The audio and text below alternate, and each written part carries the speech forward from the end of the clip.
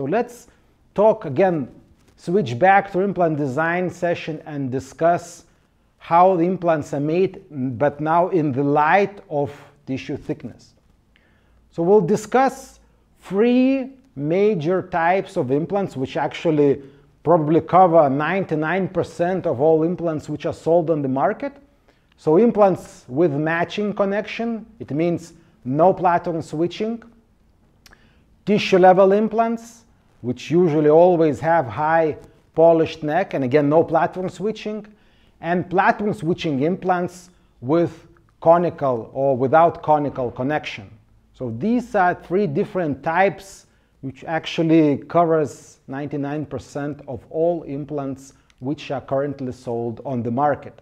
Now let's start with matching connection, bone level implants without platform switching, without conical connection. How do we place them? What is the recipe for their placement?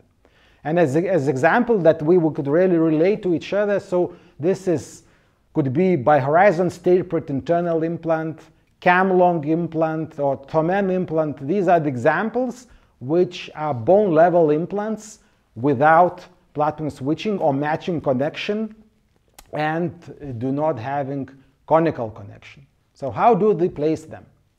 That's why the first step in developing zero bone loss concepts after we really look uh, of tissue thickness is to understand the design.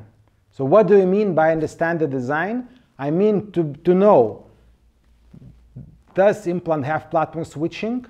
What kind of connection it is? What kind of degrees? For example, here, if with this is implant without platform switching, uh, BioHorizon tapered internal, we must know that it has 45 degrees uh, internal connection.